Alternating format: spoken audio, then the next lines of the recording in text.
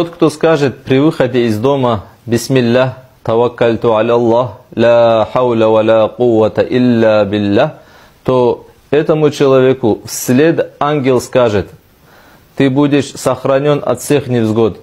ты будешь находиться под защитой, и ты будешь направлен на прямой путь», сказал посланник Аллаха, саллиллаху алейхи вассалям.